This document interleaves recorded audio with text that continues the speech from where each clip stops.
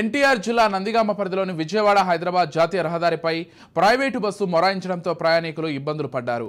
అర్ధరాత్రి హైవేపై బస్సు నిలిచిపోయింది. అయితే బస్సులో దాదాపు ముప్పై మంది ప్రయాణికులు ఉన్నారు. హైదరాబాద్ నుంచి విజయవాడ వస్తుండగా ప్రైవేట్ ట్రావెల్స్ బస్సు ఆగిపోయింది. అర్ధరాత్రి నుంచి చిన్నపిల్లలతో నడి రోడ్డుపైనే ప్రయాణికులు పడిగాపులు కాశారు.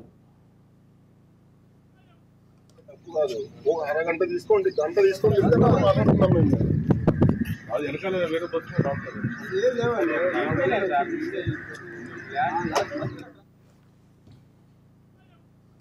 కాదు. ఒక అరగంట తీసుకోండి గంట తీసుకోండి మాట్లాడుతున్నాం మేము అది వెనకాల వేరే బస్సు లేవండి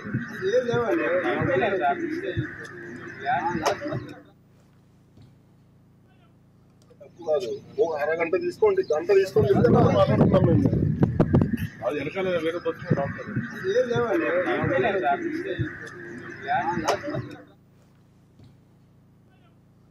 కాదు. ఒక అరగంట తీసుకోండి గంట తీసుకోండి మాట్లాడుతున్నాం మేము. అది వెనకాల వేరే బస్సు రావట్లేదు ఏం లేవండి